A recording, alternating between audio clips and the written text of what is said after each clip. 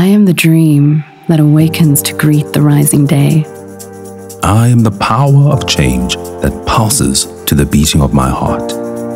I am the flame of hope that burns with the brightness of possibility. I am the energy that flows through every cell of my being. I am the warrior taking the first step of my journey.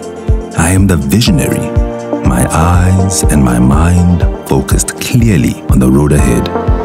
I am the promise I make to myself that this will be the best day of my life.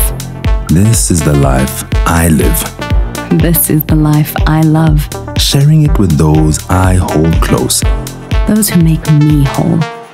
because life is an ocean and every drop counts. Vitality awaits, and the power of change is now in my hands. I am a work in progress, working to become the best version of me.